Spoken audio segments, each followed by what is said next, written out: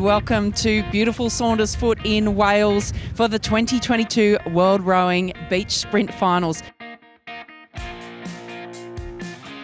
It's been so exciting here in Saundersfoot. The weather's been changing on a dime. Just about every hour, we've got different conditions. The wind sweeping through, we've had rain showers come careering through, and that's what the coastal rowers absolutely love conditions.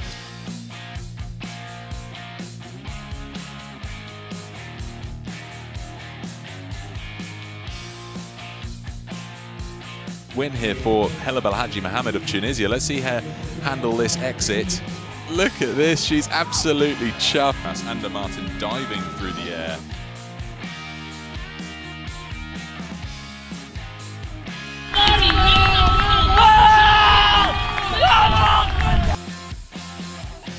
Then I think Matt Dunham, possibly the fastest sprinter. Look at the distance. The Spanish will make landfall first.